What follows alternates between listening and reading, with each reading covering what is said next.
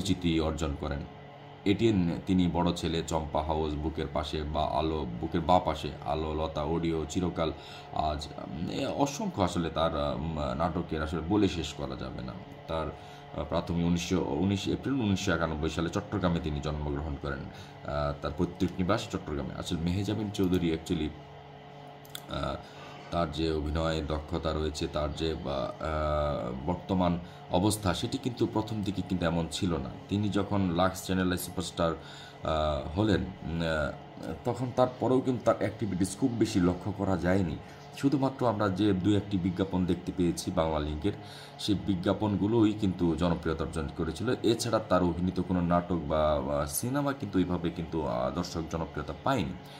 তারপর ধীরে ধীরে তিনি নিজেকে গড়ে, নিজেকে অভিনয়ের দিক থেকে নিজেকে স্ট্রং করে, আমার মনে হয় তিনি এমনভাবে ব্যাক করেছেন যে আসলে এখন মেহেজাবিন চৌধুরী ছাড়া বাংলা নাটক ইন্ডাস্ট্রির ইতিহাস কল্পনা বা বলা যায় না। এখন বাংলাদেশের ইতিহাস নাটকের ইন্ডাস্ট্রির ইতিহাস বলতে গেলে মেহেজাবিন চৌধুরী বড় একটি জায়গা জুড়ে রয়েছেন। মেহেজাবিন চৌধুরী বলব না শুধু, মেহেজাবিন চৌধুরী আর আফরানিসুর যে জুটিটা রয়েছে সেই জুটিটা কিন্তু অত্যন্ত খুব প্রশংসার দাবি রাখে এই বাংলা নাটক ইন্ডাস্ট্রিতে।